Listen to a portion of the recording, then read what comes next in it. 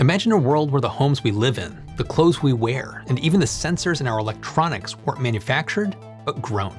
Mycelium, the root structure of fungi, is shaking up everything from sustainable construction to meatless bacon. It's turning agricultural waste into walls, hemp into compostable packaging, and fungal threads into leather that even luxury brands are eyeing. This mushroom material is set to insulate the facade of a 300 unit housing project in California. And now innovators are swapping out the sensors of robots for the electrical pulses of living mycelium. So, how long until mycelium is just as ubiquitous as wood, metal, and plastic? I'm Matt Ferrell. Welcome to Undecided. This video is brought to you by Incogni. I get requests all the time to follow up on exciting breakthroughs that I've covered in the past. You know, a sort of where are they now for renewable technologies? With new uses for mushroom mycelium sprouting up in the newsfeed, I toured the farm of the company that pioneered it all, Ecovative. They walked me through the process of turning mushroom roots into versatile, sustainable materials. But first, what even is mycelium? When we think of mushrooms, we picture portobello caps, forest fungi, or maybe Smurfette's house. But these are just the fruiting bodies. The real magic of mushroom happens underground. Beneath the soil surface, a vast network of mycelium threads acts as both roots and stomach, digesting and absorbing organic matter. These threads, called hyphae, are tubular structures that intertwine to form lightweight, lattice-resembling foam.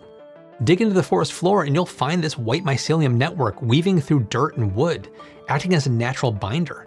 This ability to glue loose materials together is what first fascinated Eben Bayer and Gavin McIntyre, the duo who dreamed up the mass farming and use of mycelium as a self-assembling, sustainable material.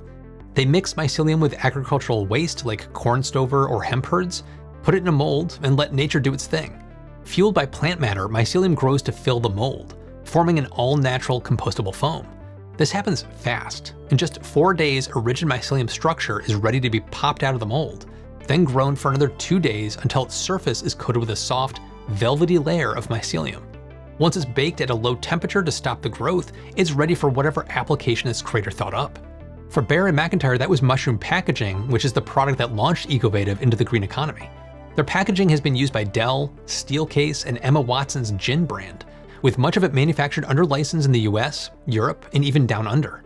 Today, the mycelium-based packaging market is valued at nearly $85 million, and as more companies adopt greener packaging, it's projected to grow more than 9% annually, reaching over $200 million by 2034. Ecovative's innovations didn't stop at packaging. While touring a massive indoor mushroom farm in the Netherlands, where mushroom caps are grown on straw and picked by hand, Bayer got the idea to grow mycelium indoors as giant mushroom slabs. Saw rooms like this, these big beds, and I realized that this was like the most automated, scaled mycelium infrastructure on the planet devoted to growing this one very specific monocrop. And I had the vision of this, like, hey, what if we could create this biopolymer in our lab at this scale at a really low cost? This is the mycelium technology I went to see for myself. It's a novel mushroom architecture grown from a strain of oyster mushroom plucked off of a tree in Troy, New York. Forget the mulch, this is pure mycelium, and it's unlocking a whole new realm of material possibilities. Looks like the world might just be Ecovative's oyster. They're calling it air mycelium. But yeah, this is 12 days worth of growth. And you can see it just has a nice tissue texture. So this is like the future of indoor farming. That's Lacey Davidson, who let me pull a bit of the mycelium off with a glove. Oh, wow. It's kind of tacky. Yep. That is wild. this is low energy, low resource farming. Unlike plants, mushrooms don't need grow lights. In fact, mycelium hates light. It thrives in the dark on damp sawdust and wood chips, upcycling waste into versatile building blocks. Water use is minimized too. You hydrate the wood chips, more water is released from the digestion of the wood chips, and then while this room's really misty, we're mostly just recirculating this humid air that the moisture kind of respirates. That moisture-laden air is blown around the indoor farm to mimic the mist and breeze of a forest. Once the mycelium reaches a point where it's fully matured but not yet sprouting, the giant racks it's grown on transform into conveyor belts, sliding thick sheets of mycelium right off the ends for automated harvesting. On just one acre of land, Ecovative's mycelium farm produces 3 million square feet of material each year. That's nearly 700,000 square meters of mycelium per hectare. But what's truly remarkable is air mycelium's versatility. It slices two ways to create two totally different products, leather pants and pocket bacon. But before we get into the surprisingly stylish side of mushrooms, and yes, leather pants are involved, let's take a quick pause. While mycelium might be growing out of the dark, your personal data shouldn't be. It's kind of shocking how easy it is to find your personal details online.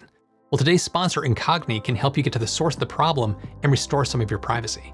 Data brokers have made a business out of collecting your personal details and selling access to it, and sometimes they sell your info to some pretty shady people. Incogni can help you with this. We have the right to request that data brokers delete our information, but it takes a lot of time, effort, and sometimes legal action.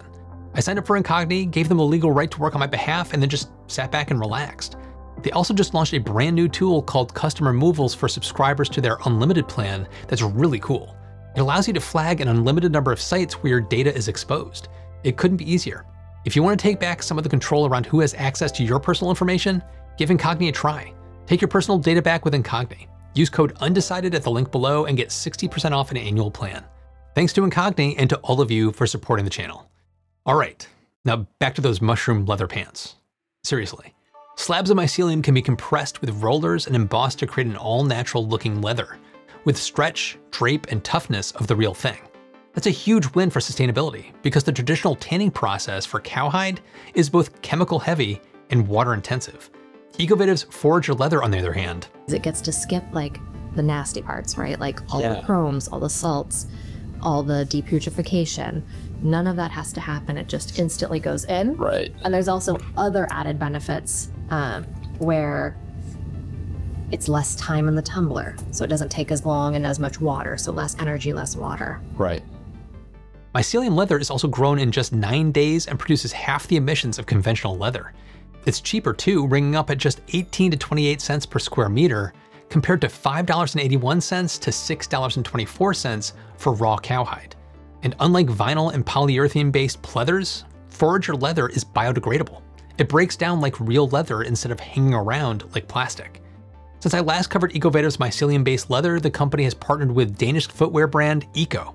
Together, they're refining the leather making process to produce custom grown materials for shoes and accessories. And in 2025, Ecovative is scaling up in a big way. It's set to commercialize its leather with major brands already lining up like Calvin Klein, Tommy Hilfiger, and Veja among them. And Ecovative isn't the only company advancing mycelium-based textiles or mycotextiles. MycoWorks, based in California, is turning reishi mushrooms into luxury leather. It's already found its way into Hermes handbags. GM even explored MycoWorks fabric for several interior parts, including matte pockets of their Sollei electric convertible. I guess that makes mycelium the Cadillac of leathers? If turning mushrooms into leather wasn't surprising enough, Ecovative also found a way to make bacon out of mycelium. They call it My Bacon, or maybe it should be called Mycelium. It's already on the shelves in over 1,400 stores, and it's made from thick slabs of air mycelium. Get harvest, you get the frost, and then it goes into a bacon flake there, you get sliced. If you take strips of air mycelium, soak them in a brine of sugar, salt, and natural smoke flavor, boil them up, and then add a little coconut oil, then you've got artificial bacon with a meat-like texture that fries up in a pan. That's exciting because about the only two things nutritionists seem to agree on are the benefit of eating more plants and less processed meat. It's also exciting for the planet, as making this bacon uses a lot less land, water, feed stuff, and, well, pigs. This growth chamber is one acre of plants, of all of them. Okay. That can do a million pounds of my bacon annually on one acre of land. That's a million pounds of bacon made from agricultural waste and water, with minimal energy inputs and compostable waste. But what all lovers of bacon need to know, and I am one of those people, it passes the sizzle test. And on a BLT or burger, I can say from experience, it tastes fantastic. I'm not the only one who thinks so. My bacon is the fastest growing plant based meat in the Northeast US, selling three times as fast as competitors. It's no wonder Ecovative just secured $28 million in funding to triple capacity and set up an additional farm in Canada. Later this summer, they're rolling out a pulled pork.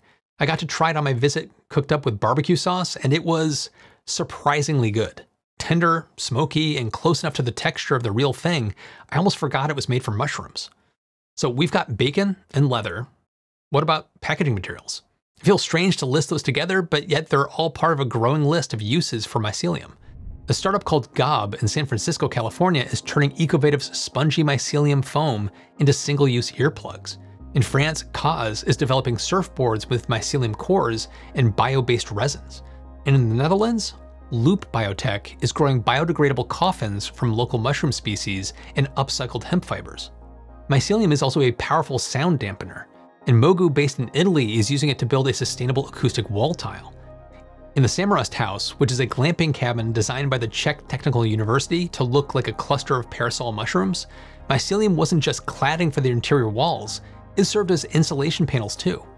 Even the stools were grown from mycelium, which is probably the first time I've seen literal toadstools incorporated into interior design. All this architectural experimentation is surprising considering that mycelium isn't typically considered for weight-bearing applications. But when grown the right way with the right agricultural waste, mycelium bricks can be surprisingly strong. An initiative called Mycohab has built a one-bedroom home in Namibia using bricks made with oyster mushroom mycelium and biomass sourced from invasive encroacher bush. The team claims that pressing and baking these bricks makes them stronger than concrete. Their hope is to someday produce these bricks from local materials at a low enough cost to provide fire retardant housing for communities that need it most. We don't have to wait for someday to see homes constructed with mycelium though. In 2025, a 316 unit affordable housing complex called the Phoenix, is set to open in West Oakland, California, featuring exterior cladding made from mycelium panels. These 36 foot long or 11 meter prefabricated panels are grown from Ecovative's mycelium and hemp blend in giant molds, then encased in a fiber reinforced polymer shell for durability. The panels will serve as thermal insulation, cutting energy costs by keeping the building cooler in summer and warmer in winter.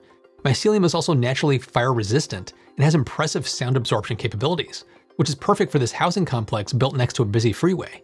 The truffle on top is that the mycelium cladding is also carbon negative. You might be wondering how smart it is to incorporate mold into a building structure, but this is only the root-like mycelium. That's not the fruiting body and definitely not the fungus spores. And once the mycelium is matured, it's baked at a low temperature to kill and stabilize it. But what if we didn't just build with mycelium, but what if we let live mycelium do the building?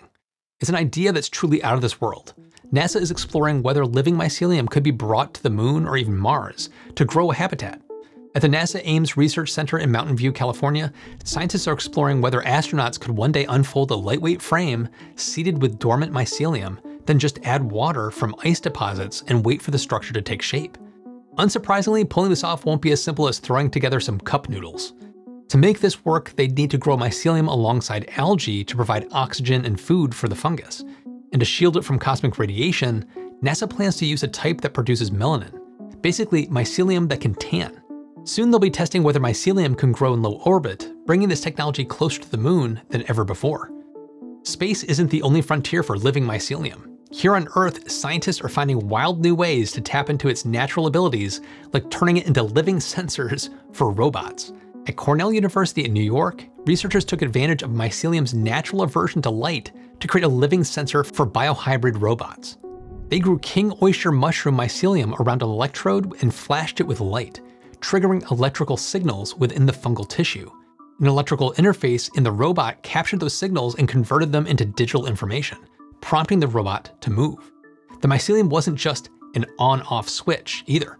Different intensities of light made the robot speed up, slow down, or even shift direction to move away from the light. Mycelium is incredibly sensitive to its environment, detecting not just light, but also chemicals, moisture levels, and even nearby plants.